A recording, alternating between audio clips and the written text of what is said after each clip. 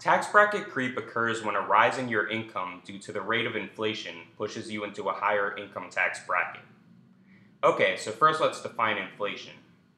Inflation is the increase in the general price level of goods and services, and it's usually measured as a rate of increase over a one year period.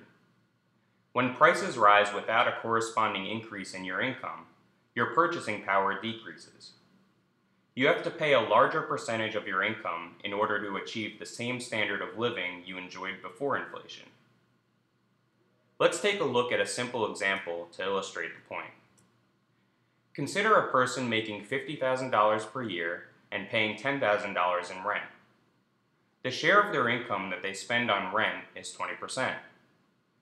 Now, what if there's 10% inflation, but this person's income remains constant? Now the person has to pay $11,000 per year in rent, but still has $50,000 in income. As a result of inflation, the share of their income that they spend on rent is now 22%. Their purchasing power has decreased. So how does this affect income taxes? Well, let's say we have a simple income tax code with three income tax brackets. Individuals making 0 to $10,000 per year have a 0% rate. Those making between 10,000 up to and including 100,000 have a 25% rate. And anyone making over 100,000 has a 50% rate. Now let's assume that inflation is 10% and pre-inflation income is $100,000 per year. This person's tax bill is then $10,000 times 0% plus $90,000 times 25%, which equals $22,500. Their effective rate is 22,500 into 100,000 times 100, which equals 22.5%. Now let's look at their post-inflation situation.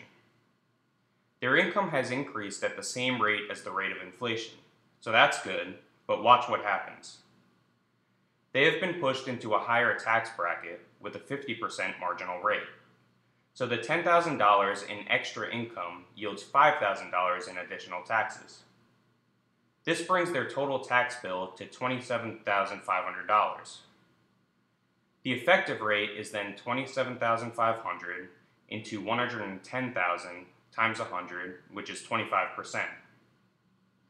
We see that even though their income increased at the same rate as inflation, their effective tax rate is higher because the tax brackets were not adjusted for inflation.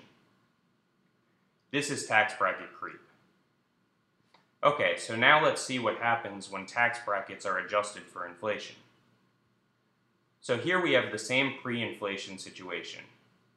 Income is $100,000, the tax bill is $22,500, and the effective rate is 22.5%. After inflation, the brackets are adjusted. Now people making zero to $11,000 per year have a 0% rate. Those making over 11,000 up to and including 110,000 have a 25% rate. And anyone making over 110,000 has a 50% rate. Again, this person's income has been adjusted for inflation and is now $110,000. So the tax bill is $11,000 times 0% plus $99,000 times 0.25, which equals $24,750.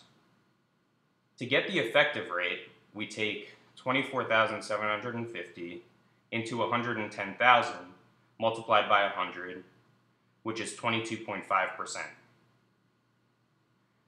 So now that the tax brackets have been adjusted for inflation, there is no bracket creep and this person pays the same share of income in taxes as they did before inflation. So why does tax bracket creep exist? Well, inflation is a natural economic phenomenon, while tax codes must be adjusted through policy. It may take longer for tax codes to be updated than for inflation to take effect. Also, central banks try to use economic policy to keep inflation under control, generally at an annual rate of about 2 to 3%, but they don't always succeed. So that's tax bracket creep and inflation. Thanks for watching.